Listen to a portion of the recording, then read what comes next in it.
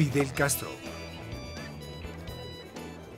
Que Dios quiera que esté en los últimos infiernos. Ha muerto un personaje, pero igual la revolución sigue. Fue en cierta forma un líder negativo.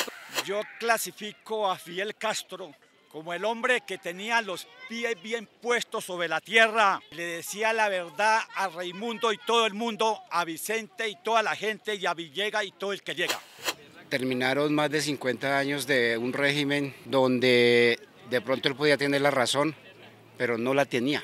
Qué pesar que te hayas muerto, Fidel Castro. Te queremos y te seguiremos queriendo por siempre. Un hombre poderoso y que uno tiene que morir es cuando le toca, no cuando otro quiera. Una figura controvertida siempre, ha sabido manejar una isla como Cuba hasta siempre. Un líder revolucionario que fue capaz de enfrentar a los gringos. Morimos los revolucionarios, pero las ideas no mueren.